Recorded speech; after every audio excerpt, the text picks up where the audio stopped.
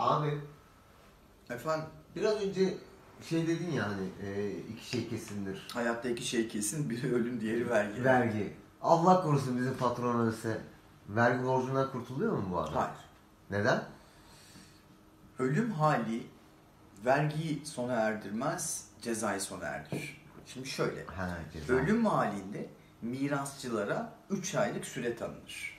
3 aylık sürenin anlamı terekeyi kabul veya red süresidir. Eğer mirasçılar terekeyi kabul ederse bu durumda ölen kişinin vergi borcunu, gecikme faizini, gecikme zammını varsa hisseler oranında kabul ederler. Bunu öderler. Ama cezaların şahsi ilkesi gereği ceza terkin edilir. Yani Yani sadece cezayı ortadan kaldır. ha ceza yoksa. Peki başka? Cezayı ortadan kaldıran haller mi? Tabii ki var. Çünkü geçenlerde bir ceza yeme söz konusu oldu. Şimdi benim hatam yüzünden olabilir. Korkuyorum da yani. Cezayı sona erdirmek istiyorsun. Yani var böyle varsa bir yolları Var. hani o tarafa doğru Var, var, yönlendireyim. var. Ödersen sonra ceza Ya işte sona mümkün olduğu kadar ödememeye çalışıyorum hani. Başka bir Biraz alternatif- önce bahsettiğimiz gibi aslında bunlar ortak yani. En azından bir kısmı ortak. Yani biraz sonra sayacağım nedenler. Hem vergi hem cezayı ortadan kaldırdığı gibi sadece cezayı da ortadan kaldırabilecek. Ödeme ödersen vergi de ceza da ortadan kalkacak. İki, zaman aşımı. Zaman aşımı tarih ve tahsil zaman aşımı olmak üzere karşına gelecek. Cezalarda da tarz zaman aşımı geçerli. Yani cezayı da zaman aşımı ortadan kaldırır. Bunun dışında terkin demiştik hatırla. Evet. Terkin de yine karşına gelir. İşte terkin tabi özel bir durumdur dedim. Bazı nedenler ortaya çıkmalıdır. Efendim yangın, deprem, yer sarsıntısı, muzur hayvan istilası, haşeret isti- istilası Geçenlerde çekirge saldırsaydı gibi. mesela. Evet evet evet onun gibi. mıydı? Ama işte bu sebeplerle mükellefin varlıklarının e, üçte biri ya da çiftçinin mahsullerinin üçte birinin işte kaybolması gerekecektir. Hazine ve Maliye Bakanlığı bunu yapacak. Aa, Terkin durumu da cezada sona erer. Vergide olduğu gibi. Yani çekirge evi yiyemeyeceği için bir şey olmayacak yani. Ya ama şimdi yangın, deprem... Ha, onlar evet. Ben tabii, çekirgeden- Tabii tabii o şey tabii o vurdum. çiftçi için. Evet. Tabii don da olabilir bu arada, kuraklık da olabilir. Yani Hmm. çeşitlenir bunlar. Başka neler var peki? Hı, vergi hataları var. Ama biraz önce bahsetmeyi unutmuştum. Ee, vergi hataları, vergi usul kanunu e, madde 116, 117 bunda düzenleniyor. Vergi Ee, hataları. vergi evet, evet. hataları, hesap hataları ve vergilendirme hataları olarak karşına geliyor. Eğer hata varsa cezayı da ortadan kaldırır. Vergi ortadan kaldırdığı gibi.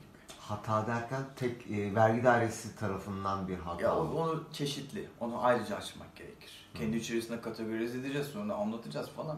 Yani burada bayağı muhabbet dağılır. Aman onu da kim çekecek şimdi? Hı. Biraz önce af demiştik. Evet.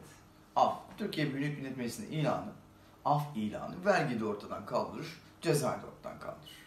Yani ortaktır. Uzlaşma demiştik. Uzlaşma vergi içinde vardır, ceza içinde vardır. Gerçi burada bir güncelleme var. Önceden usulsüzlük cezaları da girebiliyordu uzlaşma kapsamında. Artık sadece vergi ziyaret cezası var. Peki ya ben pişmanım. Hani bu hapis muhabbetlerinde var ya Evet. pişmanım falan Evet, evet, muhabbetinde. evet. O, o bizde de geçerli. Pişmanlık ve ıslah hükümleri var. Pişmanlık ve ıslah hükümlerine e, göre davranırsan ki o özel bir durumdur. İşte beyana dayalı vergilerde ortaya çıkmış olan vergi ziyaret cezası. E, bir de e, hukuk 359. maddeye göre kesilmiş olan kaçakçılık suçunda karşına gelir. İstersen onu da böyle ayrıntılı bir şekilde daha sonra konuşabiliriz. Konuşalım çünkü onunla ilgili bir sorun olacak sana. Hmm. Şimdi bak mesela pişmanlık ve ıslah dedin ya. Pişmanlık ve ıslah sadece cezalarda var. Cezaları kısmen sona erdirir. Hazır böyle bir başlık açmışken cezaları tamamen ortadan kaldıran ya da kısmen ortadan kaldıran. Yani sadece cezalar üzerinde etkili olan nedenler var. Mesela mücbir sebep. Böyle çok gündemde mücbir sebebi ayrıca anlatmak lazım aslında. Mücbir sebep hali varsa mükellefe ceza kesilemez. Ama kesildiyse ceza o ceza ortadan kalkacaktır. Tamamen mi kalkacak ertelenme gibi bir durum? Tamamen ortadan kalkar. İşte ne olabilir? İndirim var. İndirim de tabi adı üstünde indirim olduğu için kısmen ortadan kalkıyor. İşte e, yanılma hükümleri var. E, yani vergi dairesi sana yanlış bilgi verirse bu yüzden e, sen de ona uygun davranırsan ve bu sebeple bir ceza kesildiyse bu ceza yok hükmündedir. Yanılma olur.